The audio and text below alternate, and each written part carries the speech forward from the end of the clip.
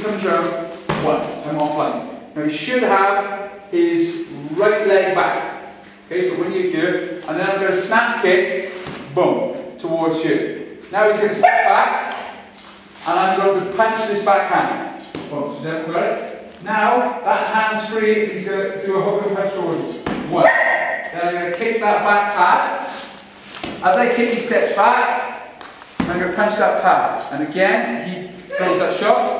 One, I'm going to kick, punch. He's going to come in, one, kick, punch. Come in. So you're just building up that speed coming down the line.